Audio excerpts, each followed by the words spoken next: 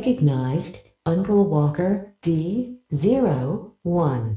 Recognized, Monkey Pie Quinn, D07. Okay, well let's let's dodge back over to Robin again while I process this whole thing with M'gann. So Robin, of course, the most obvious thing about Robin, even from the very beginning, is you know what the name of the show is based on. Mm-hmm. Is uh, and we dove into this in our conversation at the coffee shop. This the the idea of his breaking down of language and exploration of language and how that informs him as a character to us, how it informs us about who he is, as opposed to someone like Wally or Superboy or Kaldur. Right? Can you dive into that a little bit? Yeah, so if you look at the way that Dick uses wordplay, it shows that he has this level of awareness of the way that language is constructed and language is navigated in the way that meaning, he's actually acknowledging in interesting ways that the meaning of words is on some level arbitrary.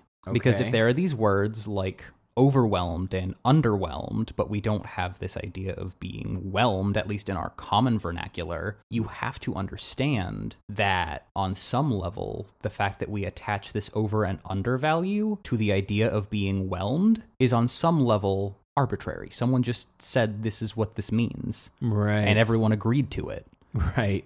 And so it shows on some level this tacit acknowledgement of that Right. it's actually interesting looking at his linguistic repertoire of languages that he does speak because the fact that he plays with words like this actually on some level might be indexing the extent to which he has been trained in the use of other languages because Oh, people right. who are bilingual do have sort of different relationships to language than people who aren't and so it draws or might draw certain attention to the way that thoughts are conveyed, sentences are constructed, and words are used right. that could be theoretically impacted by the fact that he has all of these languages that he does know, or is at least passively fluent in. Right. And beyond that, it continues to index the idea that he's had this training with Batman, and that training is about sort of lateral thinking. You Yeah. solve the best cases, like all of the best detectives, including Batman, solve cases through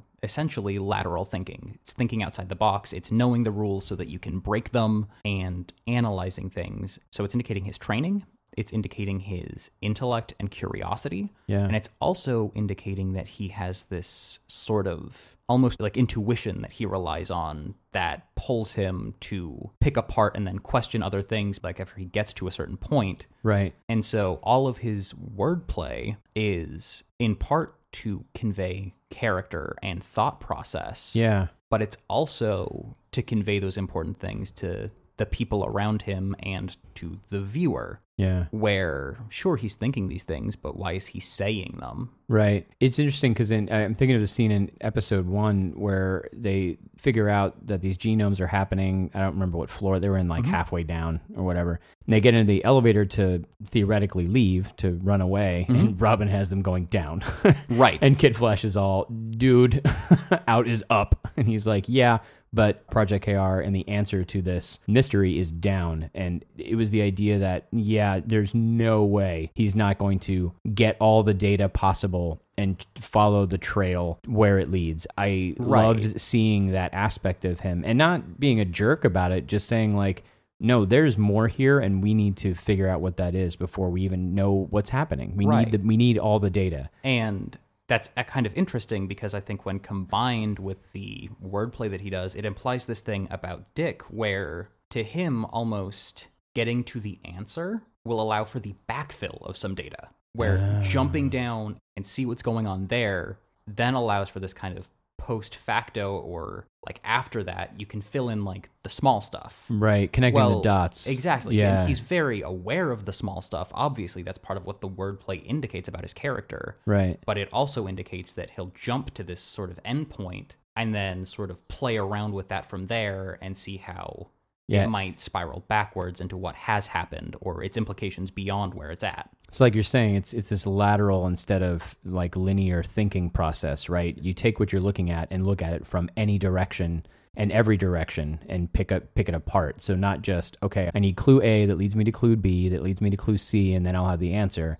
It's like not necessarily. Like I could get clue C and then clue D. It doesn't have to be in chronological order. It doesn't have to be in any order. He can take them and play with them like a Rubik's cube until he gets to piecing hopefully the answer to the mystery up. Right. And I think that that is interestingly contrasted with Wally, who I think is something more of a Little more- mechanistic thinker. Mechanism, linear, mechanistic. yeah, exactly. Yeah. Uh, he's got an inventory background in certain ways where he recreated the experiment that caused Barry.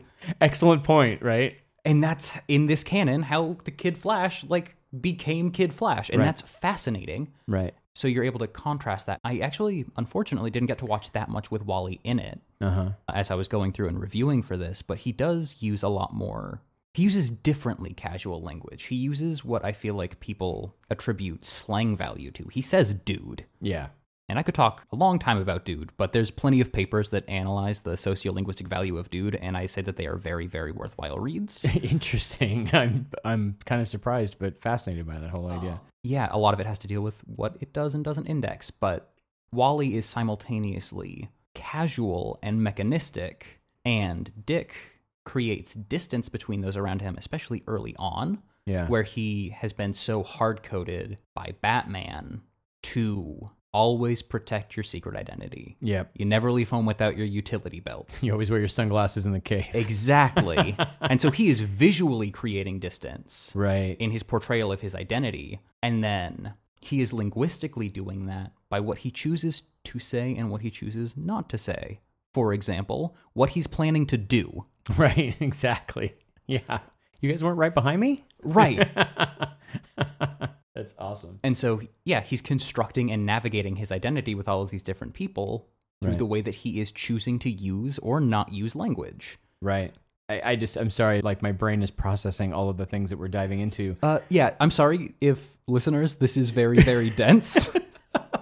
Feel free to pause and come back because Yes. that's what I'm doing, and we're just going to cut my pauses out while I try to understand Yeah. all this amazing new info. So let's let's switch over to Superboy a little bit and Yes. his downloaded languages. There's two things about Superboy when we were talking we discussed. One was the fact that he just has I mean, we don't know how many. So theoretically, every known world language could mm-hmm. be downloaded into his head. And if that's the case, like the fact that he knows them is one thing, but the fact that he didn't learn them through an educational process, like, is there a difference between, like, okay, I have worked four years to learn all of the intricacies and the trials and errors of learning Latin versus, okay, yeah, I can technically speak Latin. Is that, like, is it the same as me using a translator on my phone to talk to somebody? And then, second of all, I wanted to talk about I don't know if it I don't know if you call it a code switching, but i in the episode with North and South Rhelasia having their conflict where he and M'gann are in school while Kaldur and Roy are dealing with Lex, the teacher Snapper Carr asks about it and Superboy rattles off this data and he but he gets a very robotic voice that we don't really hear from him in, in most of the rest of the series. I don't think it happens again if I, I remember correctly. Right. So, but it tells us that he has a lot of data in his head that he Mm-hmm. can access, but is he constantly accessing it? Right. Does that all make sense? Yes. So I'll speak to that part first, actually, and I'll say that I think maybe that there was a degree of changing register that you see happening there. Right. And there's also this idea in sociolinguistics of what is called marked speech. Okay. And what they were doing is by having him change his tone and speak in this very sort of rigid, formal academic register, is they were marking his speech. They were making it seem abnormal to draw attention to it. Right. And in doing that, I actually think that you get some characterization here for Superboy, but they're actually also simultaneously characterizing and world building around Project Cadmus and Project KR and all of the cloning. They're oh, using Oh, yeah. him to convey information and sort of associative detail about what they're doing Yeah. through that. Yeah, so I talked a few times about our my what I call my holy trilogy, the idea that when you have a scene, the scene should do more than one thing. Mm-hmm. You should move the plot forward, give information, develop character. If you can do two or hopefully three, all three of those things in Mhm. one scene, this scene gives develops character and talks about him, but it literally gives information about the world at the same time it's happening. Yes. and in a way moves the what you're saying is you've just plugged in the fact that it is a third thing which is moves the plot forward because Yep. it isn't until the end of that episode where we realize that Lex and Raish have been working together to mm-hmm. make this happen in the first place. So actually I thought that scene did two things, but I was wrong. It does all three of the things that it needs to do and I didn't even know it. Yep, super super interesting. I love it. Wow. And speaking to. Superboy's his mastery of multiple languages, it's interesting because I think at the same time it's doing that sort of world building about and conveying information about Cadmus. And you have to sort of break apart the difference between language acquisition versus language learning. Yeah. And Right. Exactly. he has acquired several languages, which language acquisition is a lot easier and a lot more authentic than language learning is because you reach something of like a critical period, I guess, in language acquisition around the time you hit puberty, like 12, 13, where suddenly you can't sort of passively absorb languages and it becomes Right. this sort of effortful process by which you have to learn the languages. Right. And even when you're like really, really young, Yeah. you start learning to distinguish and discriminate different sounds, and then you don't learn to distinguish and discriminate other sounds on the basis of what you hear in language around you. Interesting. There's like LR fusion that you sometimes see people talk about in certain A- Asian languages, Right. where there's not the discrimination between the la and the ra sound, Right. and there's a distinct phoneme that those languages use that actually exists kind of somewhere between the two Right. but it's not because they have a concept of L and R and they are choosing to meet them in the middle. It's completely discrete and orthogonal. Right. And so chances are Superboy has this more sort of innate, nuanced understanding of the languages. But it also seems like, because it's hard to really understand the full implications of what being able to think and switch between that means, like on a practical level, Yeah. they're all functionally treated, I think, and this isn't necessarily a super great thing, but they're all on some level kind of treated as English wearing a different skin. Like Right, his underlying thought processes and the way that he plays with language doesn't seem to be that much changed Right. by the fact that he knows all these languages, where you're able to pull out all of these really weird, interesting implications about Dick's thought process that could theoretically be nested in the language learning that he's done. Right, right. I just remembered in the comics as well to make another reference that Greg didn't happen to mention at the time. Maybe the comic hadn't come out, but there was uh, one of the comics where Kaldur brings M'gann and Conner to Atlantis. And of course, M'gann is telepathically translating the language, her language for herself and for the Atlanteans around her. But Conner just blatantly says, Oh, no, I can speak Atlantean. Mhm. I genome's programmed it into me. I Right. it. Or like, I love the idea. Sorry, just a bit of an aside. I love the idea that in this DC universe, you could literally just take high school Atlantean Right. right? Like, Yeah. uh, theoretically, one of the largest countries on the planet. like, you could Mhm. just take high school Atlantean, and that's a language, and that's Right. a thing. And they've taken time to make it a thing. But stepping back to what you were talking about, Mhm. that's where I was trying to figure out. Like, it seems like that moment where he pulls out this North and South Malaysia data, it's as if he's accessing a file that he Mhm. may or may not necessarily register or understand on a daily basis. Like Yes. yesterday, he probably didn't consciously understand North and South. Malaysia, but if somebody asked him, he could access it. And I feel like Yes. maybe his languages are the same and that they're not affecting his personality. He just can use them as like a translator on like a Google thing on my phone that I use to talk to people, you know, like I don't know how to say this in Spanish, so I'm going to do this and have the computer tell me. Right, and it's hard to tell because we don't actually get a chance to see Superboy in a whole bunch of sort of multilingual situations where we don't get as much of an opportunity to maybe tease that apart. But I think that that could be sort of an implication where it's almost like uh, this might be a familiar phenomenon to listeners where sometimes you'll remember something and it's like, "Oh yeah, I like I remember that happened." And then you think about it a little more Yeah. and then it seems a little bit sort of like the floodgates open up and then you remember a bunch of Right. associated memories with Right. that and i think that the Rhelasia thing might kind of be like a super accelerated punched up form of that where Right. he gets hit with it and then they mark it using his speech Right. and so he has this awareness but he doesn't necessarily have it in the same way Yeah. that someone like dick might have Who's got this this prac- body of knowledge with Dick, you can see how like his knowledge of French might have informed his learning of Chinese in some way Mhm. or Japanese. How they would reflect it, he'd be like, "Oh, this is like or unlike the other language I spent a long time learning." exactly Whereas Superboy just has a file. yes And uh, it's funny because this is kind of maybe sound like a strange analogy, but when uh, I first started dating my now wife, I had this bizarre terror of ice skating. So my wife took me to go teach Mm-hmm. me how to ice skate properly. and while I was ice skating, I was terrified of falling and it was affecting what I was doing. And, Yeah. I, and I fell and it hurt. And I was like, man, I really wish I understood how to take a fall. Which, if you know me, is an absolutely absurd thought process to have because I've spent off and on 20 years studying Aikido, which is an martial art entirely involving Yeah. falling.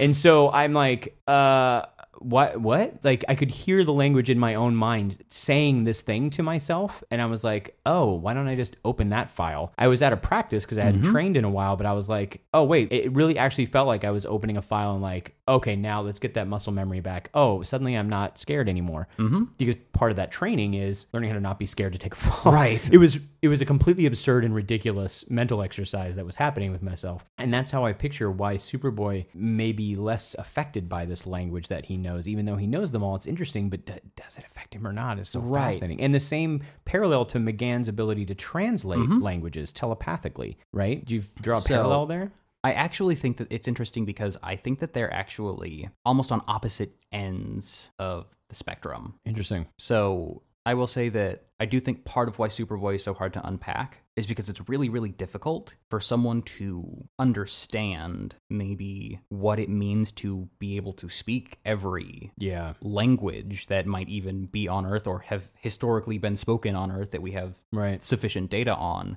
right in any sort of way other than statistically or numerically. right Whereas when you're dealing with a small handful of languages, you might be able to see how See each how- plays off the other exactly. yeah yeah So it's almost like the quantity then gets in the way of understanding the implications. right And then with M'gann and psychic translation, it's almost like there's the implication there that you talked about. Like, if there's like an idea that doesn't work in one language while she's doing this sort of psychic translation, it seems like intent, like communicative intent is what gets across. Right, like a concept, and then that concept gets automatically translated within the person's head to whatever the nearest concept is for their language. Exactly. Right, which I think is for Earth languages, I feel is already intriguing, but then you end up taking them and putting them on Rann in season two. Right. And you have an completely alien set of frames of reference. Like, Mm-hmm. funny, we have another Star Trek: The Next Generation reference, but you know the uh, at Tanagra phrasing when Captain Picard is, is trapped on a planet with an alien, and the alien is technically speaking English, or the translator's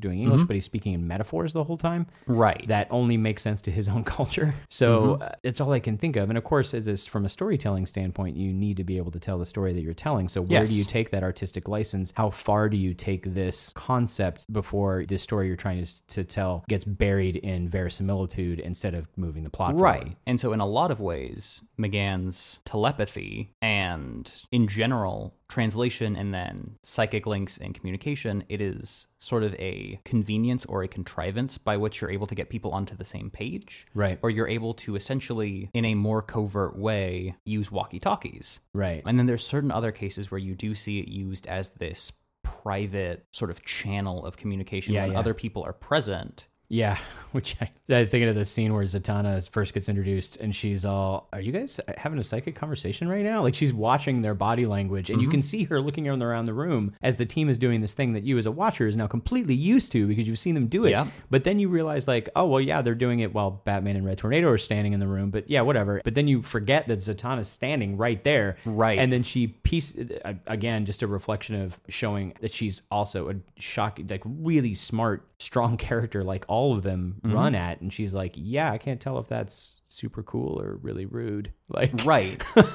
which I imagine feeds into this idea you're talking about, this power dynamic. Right. So that's definitely a part of it where if you look at it for M'gann, initially she's just like casually reaching out and doesn't realize that she is invading privacy Right. when she's doing this and doesn't understand sort of the implication that that has for people Right. in terms of crossing relational boundaries like I don't want you to know these things like get out Right. I get Um, to choose what. Exactly. Right. And over time, she sort of acclimates to that. But then as they're communicating psychically more and more, people are also sort of acclimating to this process. But it's all operating very much like people either like sending like furtive small text messages to each other or speaking on walkie talkies while other people are present. Yeah. And so it's essentially a, a way for them, sometimes in the way that you do see with multilingual code switching, to Uh, index index who is and is not essentially a member of the in group, Yeah. or it's an avenue by which they seek privacy. So, in realizing that this is going on, Zatanna is keyed into the fact that she is not on the same relational level Right. as the rest of them, and that in some ways, her asking that is making an acknowledgement of it, and then sort of asking to be informed on a more explicit basis Yeah. How where she does stand in the power dynamic. Yeah, exactly. That's really interesting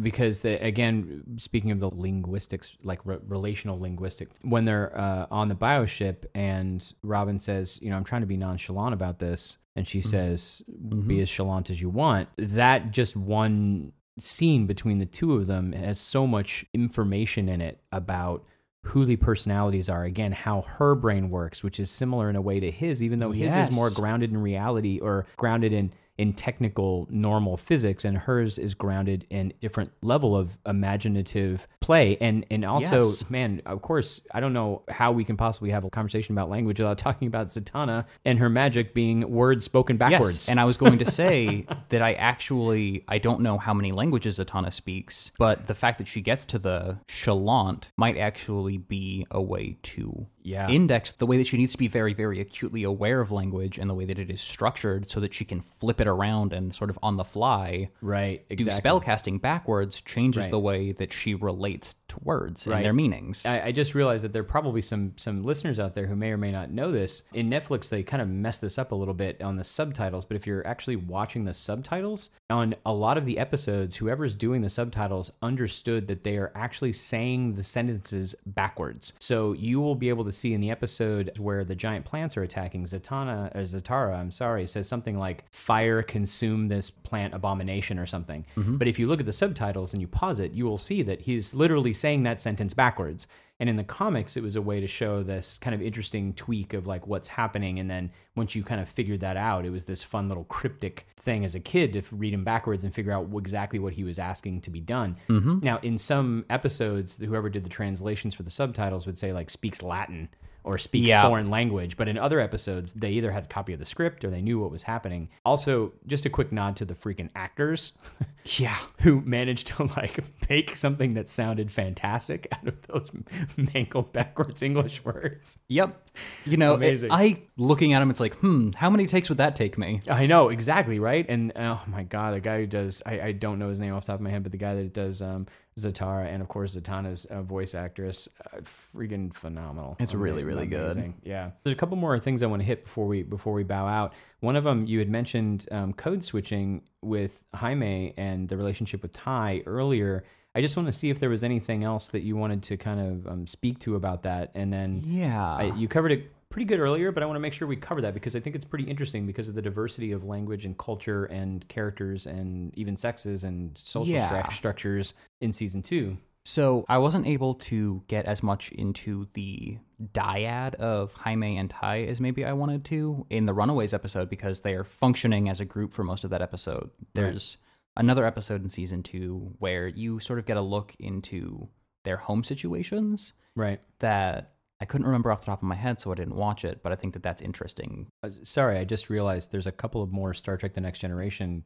or Star Trek in general Mm-hmm. connections because Robert Beltran actually does the voice of Tye's mom's boyfriend. He's the guy. Oh, yeah, in- yeah, yeah. yeah. is- And then you know, on top of that, of course, we have Marina Sirtis playing, you know, um, Queen Bee and some other characters as well. I just just a random thought Mm-hmm. Yeah. process as I was replaying that episode in my head while you were talking. Mhm. So Tye's Tye's language and Right. And so Jaime, like I said, I feel like in some cases they did manage to get this sort of he sometimes uses it affiliatively with people, the code switching. Oftentimes with that sort of code switching, you're seeing it with two people who are equally fluent in both of the languages so that you are able to sort of conveniently midstream pick ideas that more adequately convey or index your intention. But he does that sometimes in order to close or create distance with people, where with the runaways, sometimes he's actively using, it seemed to me, whether or not this was intentional, what I picked up from it was he was sometimes using his Spanish, like switching, code switching mid sentence English to Spanish. He's actually indexing a mutual sense of minority amongst all of the people okay, where in using essentially the repertoire of things that Spanish indexes, he is creating a broader sense of community between himself and the other people with whom he's communicating Yeah. And sort of pulling them in. So, like, we're all in this together. We're all sort of on the run. We're all. So, he's creating this sort of mutual, broader minority identity that is then being indexed by his use of Spanish. Right. And I was actually interested in specifically looking at that episode where you get that deeper look at their home lives Yeah. to see ways in which maybe that is or is not accurately the case. Interesting. And then sometimes, unfortunately, it does seem like they took a, a sentence and then just swapped in a couple Spanish words where it's hard to see what the communicative intent was, Right. aside from communicating that maybe to the viewer, Jaime speaks Spanish. Right. I just realized this though that there's a period of time. I would like to correlate this, or if you go back and rewatch it again, let me know. There's a time, of course, where Green Beetle accesses Blue Beetle to theoretically free him, but mm-hmm. instead reactivates that beetle and and mm-hmm. puts it under puts it back on mode. Right. After that, there's several episodes before you realize that Jaime's not able to control his own actions and that he's he's literally being puppeted by the Reach. And I'm wondering if some of those language slip ups or weirdly placed things might be in a space or episodes in which Jaime is not actually in control of what he's saying. I I don't know if that's the case, but I'm um, cu- I'd be curious to go back and see. Maybe. I noticed some of it in episode one. Oh, pretty early on. Yeah. Oh, okay. Okay. Interesting. Because that would have been an interesting idea or, or Right. nod or, or question for the watcher if you caught it that something's right. weird And linguistically. s- some of it, I think, in the first episode is them trying to just easily communicate and establish character. Right. Where Tim gives orders and then Jaime responds by code switching, and then Lagoon Boy explains by essentially doing the same thing and using Atlantean. Atlantean slang. Right. Yeah, that makes sense. Interesting. So I think there's about uh, maybe one or two more things we've gone on for a long time. We this has have. been a fantastic conversation. Uh, one comment I just wanted to make. I don't think we need to dive into too much, but if if you're from a writing standpoint, Mm-hmm. the idea that language when you're writing dialogue for characters, when I'm, I've been in writing classes or talk to people or you know teaching writing classes as well, the idea that how to do dialogue is confusing to people and that their characters sometimes they're they have to constantly add character tags to their dialog mm-hmm. because they're finding that people don't understand who's ta- speaking at a moment Mm-hmm. or another moment. Right. So the idea that a language for a character should be personalized and independent. Now, in an animated series, you have some advantages because you've got a different sounding character, you have a different visual for Yeah. the character as well, so you know who's speaking. But you know that if you took all of that away and put it in a not just a comic, but if you put it in a novel, you could have a full conversation between Wally and Dick and Kaldur and Conner and M'gann and Artemis, and you would know for the most part exactly who was saying what, even though they're all speaking technically the same language. Yes, exactly. And I don't know if you want to dive into that a little bit, but it's an idea, it's a concept that blew my mind when I was learning about Yeah. dialogue that, oh, you need to understand your character from the inside enough to not just throw in some language, just throw in some a unique catchphrase so people know mm-hmm. what's going on. Right. That gets annoying. But there is a different way that somebody speaks that informs who they are as a character so you can read that on the page. Yeah, and I think that that's actually something that I think that from a writing perspective, you have to look at this combination of, at least I do now, where you're looking at sort of what is the character's background, because their background, their history informs their context, Right. and language and the what it is conveying is sort of contextually nested. So you look at the way that that plays into the context that a character's in, the way that Yeah. it looks at and it reflects or is either the context that they have changes their interpretations of events or the present events change their interpretations of their context Right. and that is going to change the ways in which people then choose to speak. And a lot of it's not super conscious, like people just tend to speak. Speaking seems almost natural, and you aren't being effortful when you do most of your speech acts Right, right. But at the same time, being aware that there is a context to which this is bound allows for you to understand that context also reaches backwards in time. Your experiences are a part of the context that you might drag with you from situation to situation. And memory is malleable. Exactly. Yeah. And so I can't speak to it on a super, super deep level or get into it maybe as much as I would like to, but I think that if you want distinct character voices, understanding their background and context allows for you to carry that forward through different situations where there may be navigating different power dynamics. Right. Where you will sometimes see people change the way they speak to people who are in higher stations than them, but they're still being very, very nonchalant or disrespectful or lax. Yeah. But you do see changes in the way that language is used because it's still needing to convey information, and sometimes the respect is nested in there while simultaneously indicating a lack of respect or the difficulty of transitioning from being in many, many very rigid formal situations and then acclimating to how one speaks Yeah. in less formal situations. So know your character and know your situations. yeah. And I think that really, really strong, differentiated character voices will emerge from there. Absolutely. And I, I love this constant kind of bringing back to the relative power dynamic of the room that the character is standing in. Also, kind of changes how I look at characters when I'm writing them as well. It's so interesting to me. Oh, yeah, status is a huge part of good dialogue and good back and forth and good dynamic, Right. but we don't necessarily always recognize the way that it really, really is encoded in our speech. Absolutely. That's amazing.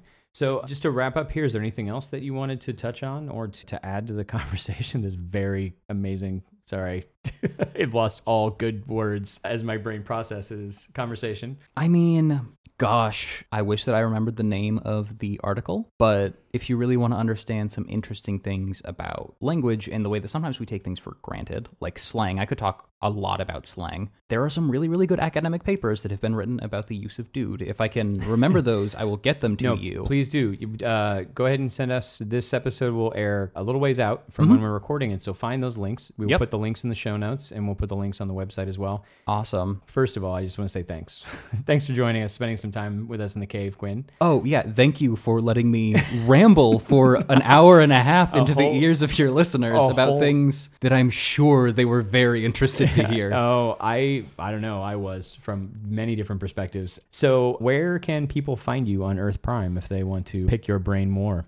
Oh, absolutely. I spend a lot of time on Twitter, and my primary Twitter account is at Monkey Pie Quinn. That is M O N K I P I Q U I N N, speaking of wordplay. And you can also find me on another Twitter account I have for my actual play podcast, which is called Swallows of the South, and our Twitter handle is at Swallows of South. Sometimes you might have the unfortunate circumstance of trying to communicate at me with at one of those accounts, and then I will respond to you using another account because I have no idea what that's like. No. two accounts. um and you can also find me and my show at swallowsofthesouth.com. I play around with a lot of cultural and linguistic stuff in the course of the show because it's a framework that I kind of carry with me everywhere I go. yes, But if you want to get into a conversation with me, Twitter is the place to do it. Absolutely. Thanks everyone for sharing time with us as well. You can find us on Twitter at the YJ Files, on Facebook at www.facebook.com slash crashing the mode, and on our website www.crashingthemode.com. I encourage everyone to check out Swallows of the South. I randomly started with episode nine, and I remember having to pull the car over and sit in front of somebody whose house who probably thought I was a crazy person uh, because I could not focus on what I was doing because I was so emotionally taken away by what was going on in that in that episode. That is, um, thank you. That's a very, very high form of compliment. that was a you know the episode I'm talking about. Yeah. Oh yeah, no, there was like in media res uh, uh, thing for me to walk into, but I immediately went back and listened to the three or four episodes right before that to find out what the context was of this crazy thing that was happening. It was fantastic, and you can hear uh, Quinn's uh, amazing voice acting talents as well, which is pretty impressive. If you enjoy our show, please consider sharing it with a friend. You can also link over to Whelmed, the Young Justice Files on iTunes or your podcaster of choice and leave us a five star rating. Ratings help us stay trot and, of course, help others to find the show. If you do leave us a rating, please let us know, especially if you're outside the US, because we have to look a little harder to find those. Also, don't forget to hashtag keep binging YJ on Netflix, or if you don't have access to Netflix, you can pick up the show on DVD or on digital through digital venues to support the show. You can also check out the associated comics at your friendly local comic shop or on Comixology and share Young Justice with a friend. And with that, Stay whelmed, everyone. You've been listening to Whelmed, the Young Justice Files podcast. Our computer is voiced by Madison Ray. Our theme was composed by Emily Mio. Our logo was created by Kevin Bates. Whelmed is a fan made podcast and is not officially affiliated with DC Comics, DC Entertainment, Warner Brothers Animation, and any other owners of Young Justice or its related source material. As such, these companies have sole ownership of all symbols, images, names, logos, and proprietary material related to Young Justice. Original content of this podcast is ours under Creative Commons. Thanks for listening, and stay whelmed.